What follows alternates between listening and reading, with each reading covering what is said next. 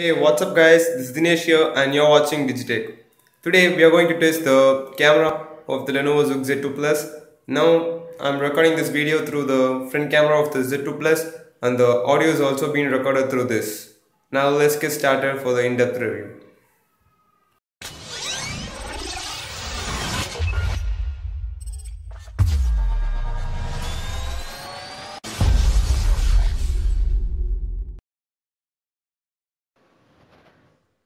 Well, Z2 Plus is equipped with a 13 megapixel rear sensor with f2.2 aperture and it's capable of recording in 4K too.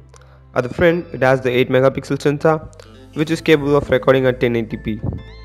Moving to the pictures, the camera performs quite good enough under good lighting conditions.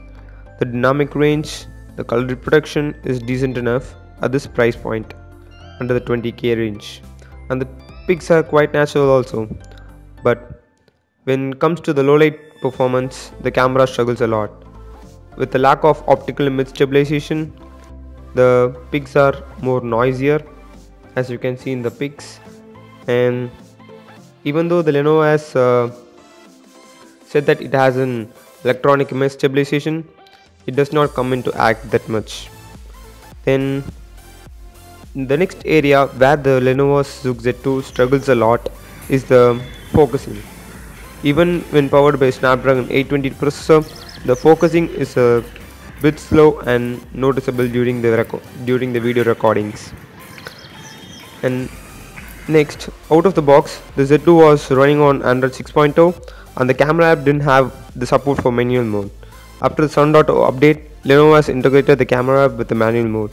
But even though it has a manual mode, the change in settings in the manual mode doesn't make much difference. Uh, take a look at some of these pics. Uh, some of these pics were taken from the Z2 Plus, changing the focus with the manual mode. The depth effects are not perfect enough, but it's acceptable with a single lens. Coming to the video performance, the 4K video quality is quite good and colors are quite natural but due to the lack of optical image stabilization the videos are a bit shaky even though the presence of uh, electronic based image stabilization it doesn't work that much good. Another big feature with which Lenovo was marketing this phone was the slow motion and I was very excited to test these one. Um, what Lenovo claimed that it can shoot at 120 240 and 960 fps per second. Um, to be honest, the phone actually records only at 120 frames per second. Even when you go for other options like the 240 and 960 frames per second, it is actually the software tweaks which makes the video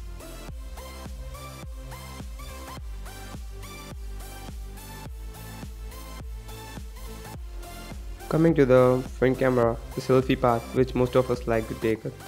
Mm, it takes pretty good photos but uh, the main problem with this is it adds a lot of software works so that um, the original quality of the pic is lost and you get a more edited kind of photos which I don't like that much but it depends upon the person some may like and some may not like but as far as I'm concerned I don't like this kind of uh, artificial editor pics.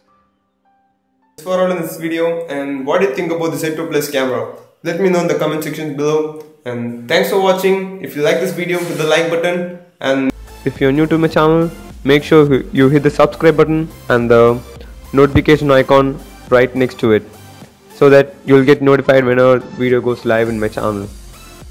And if you like this video hit the like button. That's it for all. Thanks for watching. Talk to you guys in the next one.